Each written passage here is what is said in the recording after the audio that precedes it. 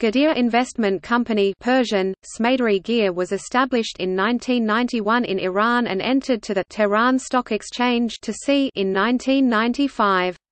Its activities are managing or restructuring Iranian companies on behalf of its shareholders.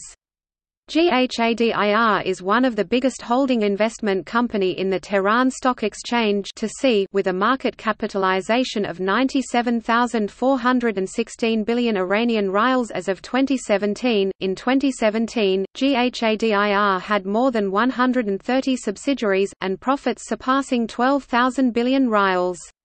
These subsidiary companies, in turn, contribute to the development of industry, trade and services in Iran.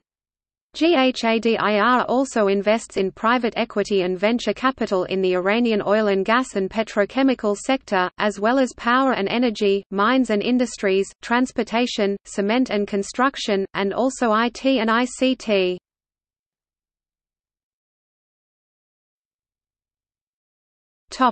See also